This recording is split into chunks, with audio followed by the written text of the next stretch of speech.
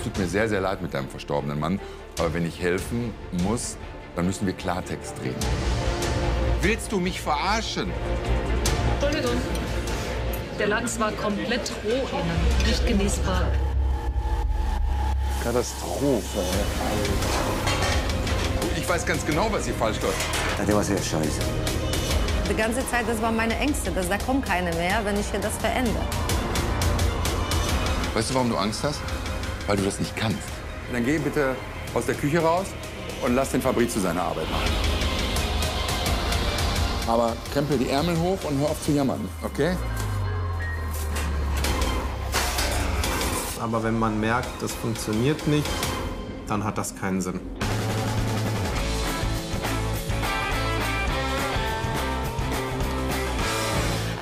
In der kleinen Stadt Bruchköbel in Osthessen ist eine Pizzeria vom Schicksal gebeutelt.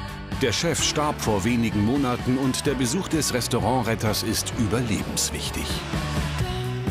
Ich bin heute im wunderschönen Bruchköbel bei Frankfurt. Von hier hat mich Angelo angerufen. Angelo ist eigentlich Mediziner und Anästhesist. Aber sein Vater hat lange Jahre hier ein italienisches Restaurant betrieben, nämlich zur alten Post heißt das Ganze. Hallo Frank, ich bin der Angelo. Ich bin der Stiefsohn der aktuellen Geschäftsführerin äh, Anja Ippolito und der Sohn vom äh, ehemaligen Chef, den Natale Ippolito. Vor 24 Jahren beginnt die Liebesgeschichte zwischen Natale und Anja Ippolito. Mit Natales Sohn Angelo und Anjas Tochter die Lara ist ihr Glück einer Patchwork-Familie perfekt.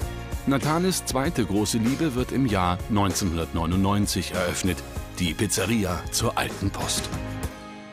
Ich habe die Pizzeria ähm, bei euch beworben, weil es seit geraumer Zeit schon mehrere Probleme gab in der Pizzeria.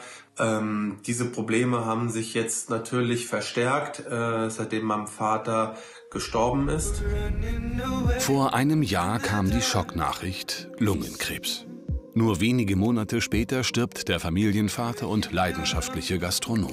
Also für meinen Vater war das Restaurant alles und äh, er war wirklich die Seele des Ladens.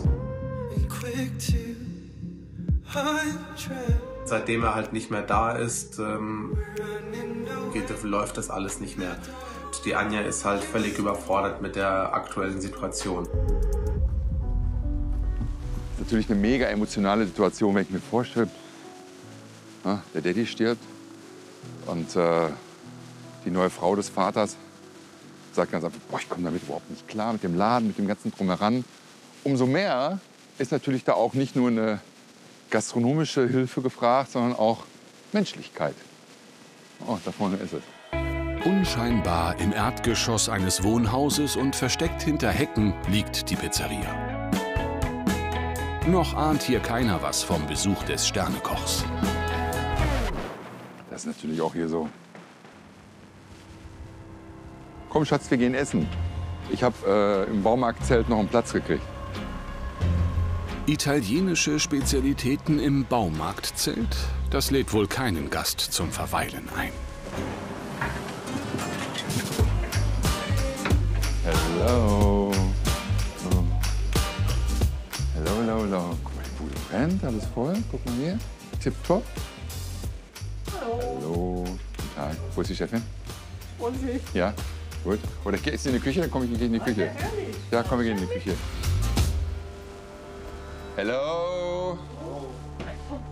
Hello. Hello.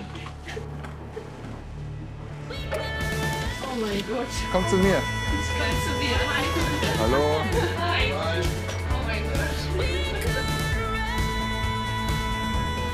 Oh nein.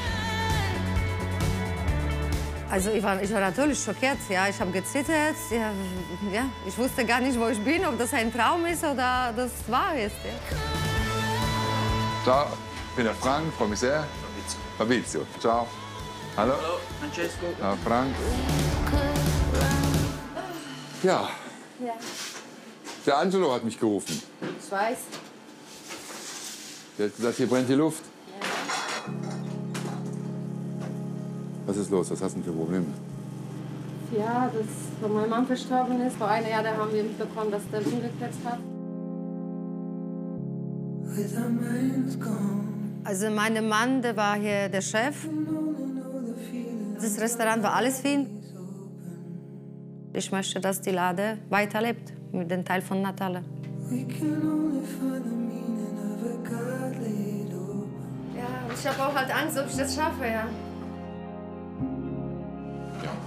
das kann ich verstehen. Das ist eine schwere Belastung. Als ich die Geschichte gehört habe, äh, habe ich gedacht, wow. Ich bin jetzt alleine mit dem Fabrizio, kann man sagen. Ja, Mein Name ist Roma Fabrizio. Ich komme von Italien. Pagani. Und er ist der Ex-Freund von Anjas Tochter. Seit drei Jahren kocht er im Familienbetrieb. Nach dem Tod seines Chefs Natale wurde er ins kalte Wasser geworfen und hat als Chefkoch die Verantwortung für die umfangreiche Küche. ich sehe mich ein bisschen um. Dann kannst du jetzt erstmal die Gäste abarbeiten und äh, wenn dann nachher für alles fertig ist, sehen wir weiter. Okay. Okay? Und du kannst mir hier ein bisschen Futter machen, ich gucke ein bisschen, okay? Alles klar, wunderbar. So, kannst machen. Der Sternekoch will die beiden Italiener testen. Fabrizio macht sich an die Pasta und um die Pizza kümmert sich Pizzabäcker Francesco. So ist ihre Arbeitsteilung auch während des normalen Küchenbetriebs. Erste Kostprobe für den Sternekoch, ein italienischer Nudelklassiker.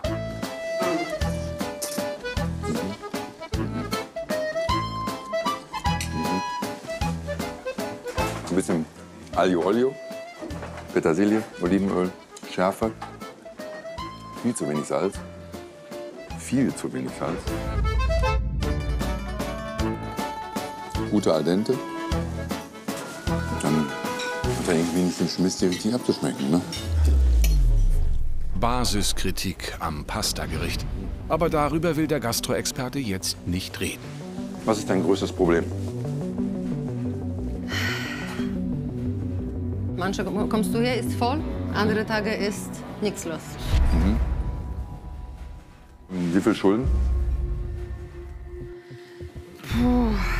So, Konto, Geschäftskonto ist immer zwischen 15 und 20 Überzogen? bezogen. Also finanziell natürlich zurzeit sieht sehr schlecht aus. Ich bin schon mit dem Konto sehr minus, minus, minus. Das kann noch mehr minus, minus, minus gehen zurzeit. Und so? Lieferantenschulden oder andere Schulden? Oder? Ja, Lieferanten, äh, so eher privaten halt, sag mal, Wohnung Ja. ist noch nicht abbezahlt. Ich will auch meine Wohnung halt auch nicht verlieren, weil das ist jetzt das Einzige, was ich noch mal habe. Das Restaurant ist meine Existenz. Das ist der einzige finanzielle Mittelpunkt, wo ich, von wo ich was lebe, von wo das Geld kommt. Was wünschst du dir von mir? Dass du mir die richtige Weg zeigen kannst. Wenn du das schaffst, natürlich. Ich hoffe, ja. Wenn ich sowas, weil ich habe auch selber überlegt, ich ende was, aber wie mache ich vielleicht noch mal Fehler, da kommt keiner mehr. Das kann natürlich alles ne, nach hinten gehen. Die ganze Zeit, das waren meine Ängste, dass da kommt keiner mehr, wenn ich hier das verändere. Angst vor Veränderung. Das wird den Sternekoch noch vor ein großes Problem stellen. So, die Pizza ist auch fertig. Pizza Prosciutto, ja, Pizza Schinken, die du bestellt hast. Und so wird die auch rausgegeben. Ja, Danke. bitte. Guten Appetit. Danke. Nicht nur geschmacklich, auch optisch hat der Sternekoch Ansprüche an eine Pizza. Ob sie überzeugen kann, wird sich zeigen. Was ich nur nicht verstehen kann, ist, es gibt so eine eiserne Regel, ne? Die Pizza muss immer größer sein als der Teller. Hier ist der Teller größer als die Pizza. Aber schmecken tut sie. Und darum pfeife ich sie mir jetzt auch rein. Geschmacklich top, optisch ein Flop. Aber zumindest ein Lichtblick. So. Die Pizza war gut. Und Spaghetti? Bitte? Und Spaghetti? Al dente. Al dente. Ja, Das ist doch gut, ne? denke Ja. ich. Gäste sind weg. Dann können wir jetzt anfangen, oder?